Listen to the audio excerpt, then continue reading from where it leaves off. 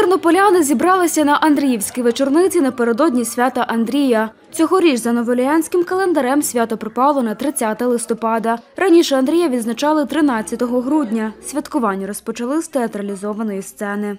Сьогодні я зіграла господаря. Господаря звати Умелько. Я такий сучасний господар, бо я сиджу в Тіктоці, даю всім поради, знімаю прямі трансляції, і без моїх порад не може жити, не може жити молодь.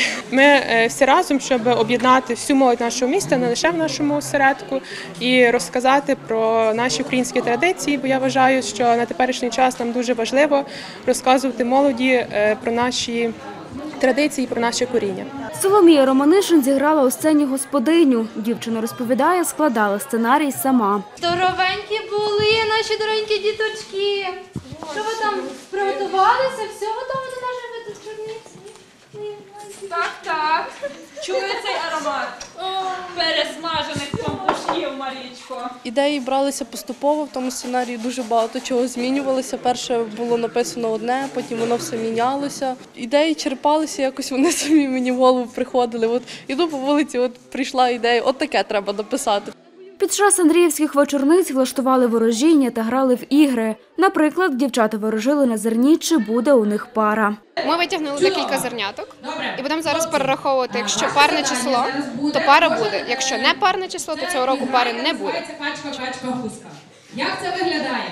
Ви йдете позаду усіх, я тут, всі мене бачать. І мене кажете, пари не буде, тому що в мене не парне число зернят. У мене парне число зернят. У мене пара буде. На свято зібралося більше 80 учасників, розповіла начальниця управління сім'ї, молодіжної політики та захисту дітей Тернопільської міської ради Христина Білінська. Щоб обов'язково не забували про свою культуру, про свої е, спадщину, а також важливо пам'ятати історію, оскільки такі ж Андріївські вечорниці відбувалися вже багато-багато років. І ми надіємося, що ця добра традиція буде ще е, власне якраз підтримуватися е, в наступних поколіннях наших. І власне ми бачимо в цьому дуже велику потребу зараз тепер відтворювати наші традиції, відтворювати нашу культуру. І відповідно ми також дякуємо нашим захисникам та захисницям за те, що вони дають таку можливість зараз зібратися тут з громадськими організаціями і поринути в нашу культурну спадщину. Наталія Бончук, Оксана Галіяш, Суспільне новини, Тернопіль.